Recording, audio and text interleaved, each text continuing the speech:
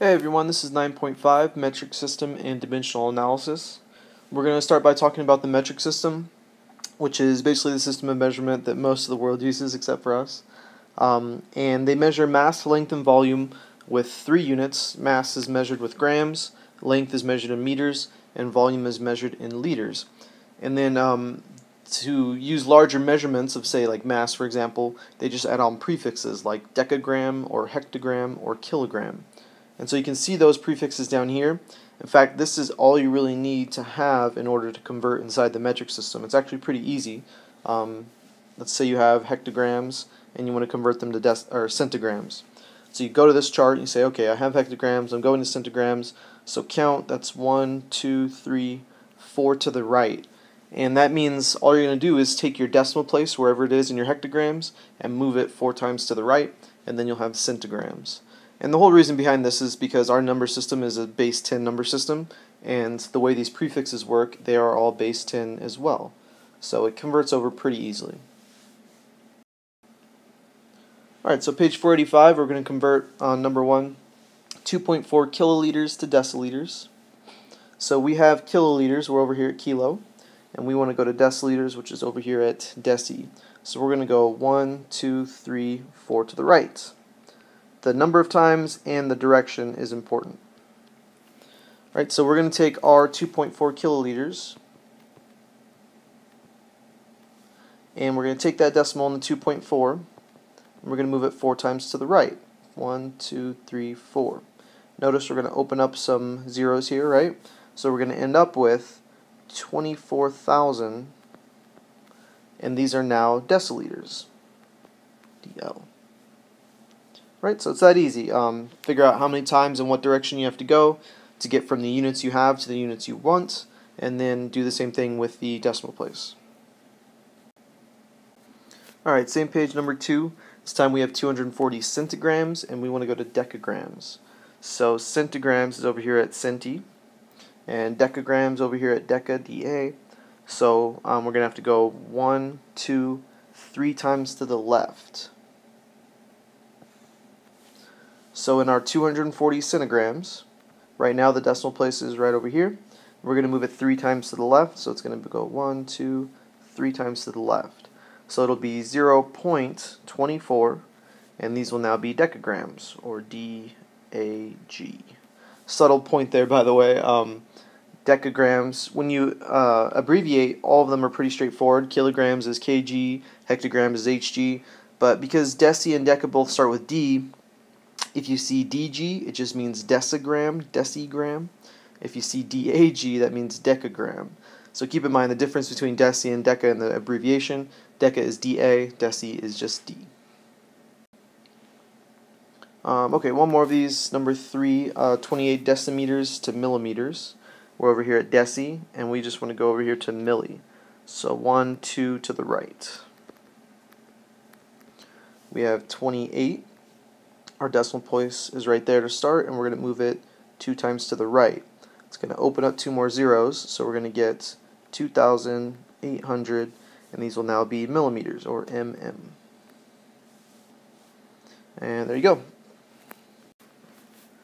Um, the only other type of problem with um, just pure metric system is uh, a problem like this on page 45, number 17. They'll tell you an item, like in this case it's a volume of small juice glass, and you have to decide which is the most appropriate measurement. Um, some of the ones in the book are actually pretty difficult to tell sometimes. you got to really know your, your measurements. Um, but the ones in the homework, I think, are a little bit more obvious. Keep in mind, too, um, sometimes it'll say pick the most appropriate metric uh, measurement. Well, if they give you something like pounds, pounds aren't metric measurements, so automatically it's not that one.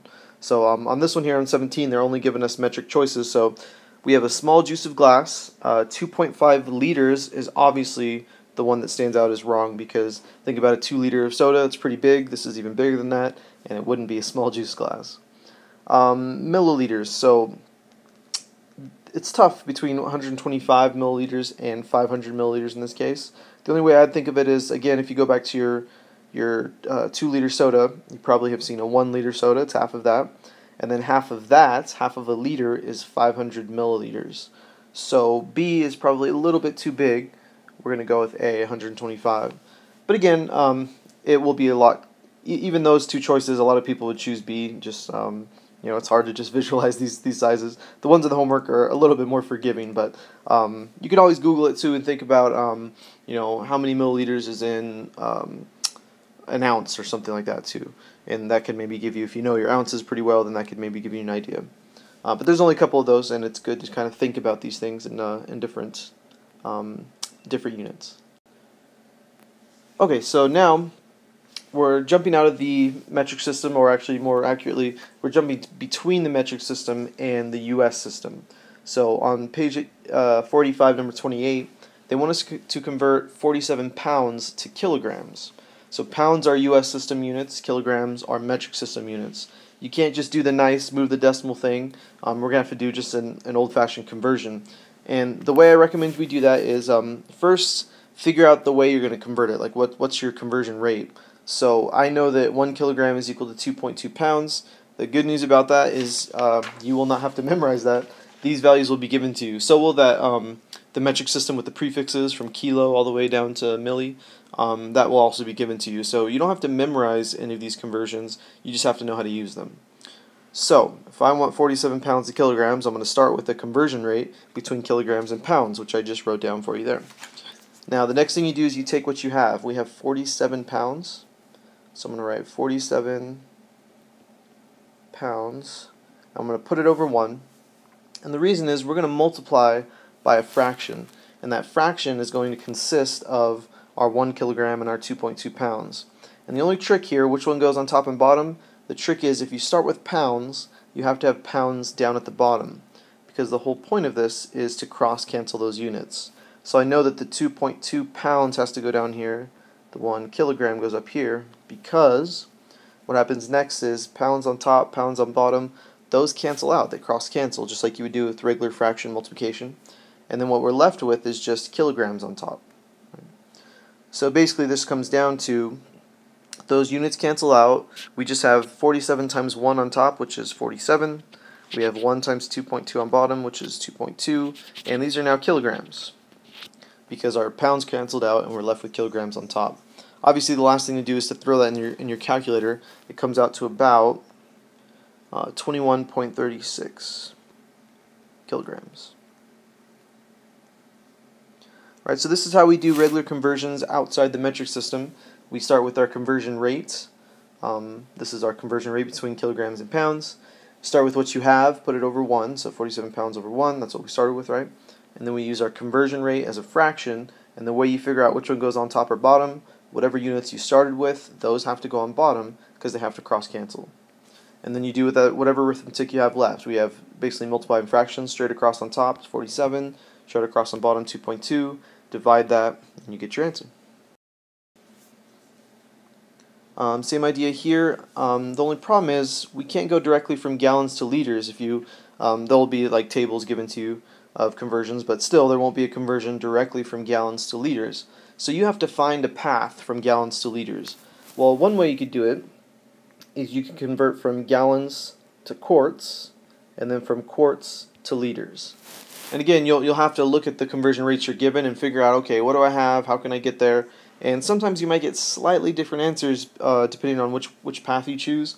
Basically because like conversions like this, know, one quart equals 0.9464 liters, there's some error there. And depending on which conversion you make, um, you might introduce a different amount of error. So keep that in mind, but basically you're going you're gonna pick a path, you're going to map it out, and then you're going to write down all the conversions that you need for it. So our path here is going to be um, gallons to quarts, and then we'll con convert from quarts to liters.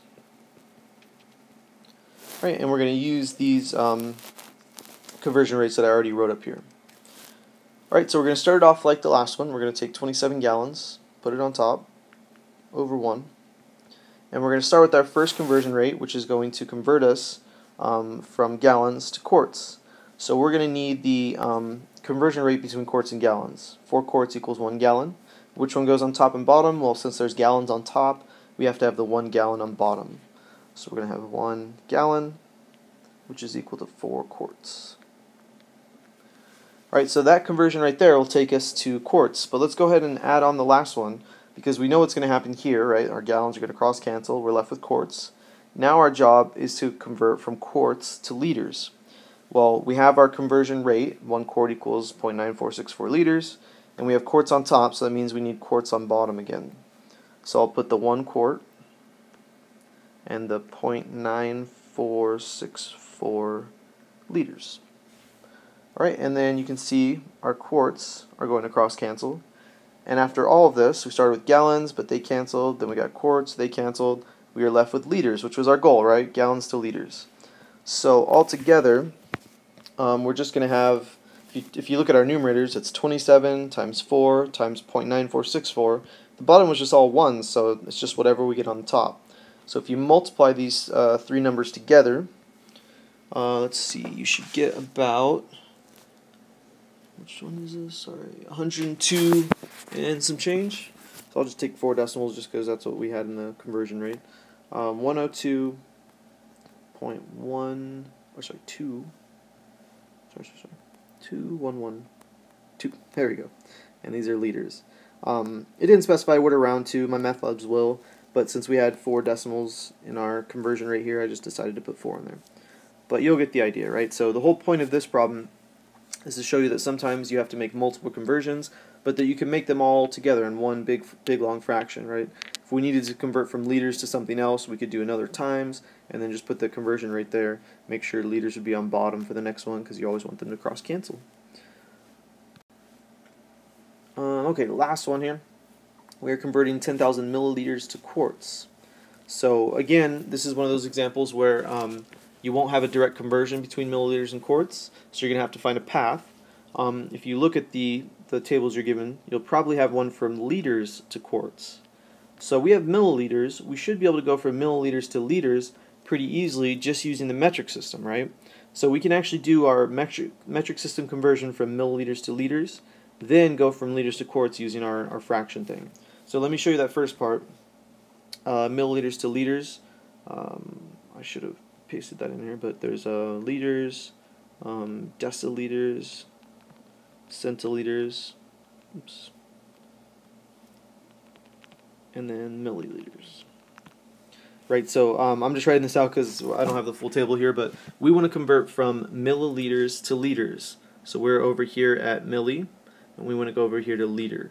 So that means we're going to have to go one, two, three left. Right, so that's the first part. Three left, we had 10,000. Decimal place right there. You move it one, two, three to the left, and you get 10. And these are now 10 liters. Right, so that first conversion, we just converted from milliliters, 10,000 milliliters to liters, and we didn't have to use any of the fraction stuff because we're just inside the metric system. Now, though, um, we are going to convert from liters to quarts. So we have 10 liters now. Put it over 1 and we're going to multiply it by the um, fraction with uh, liters to quarts. Does that just say? Oh, I see. This is supposed to say 1 liter. There we go. 1 liter equals 1.0567 quarts.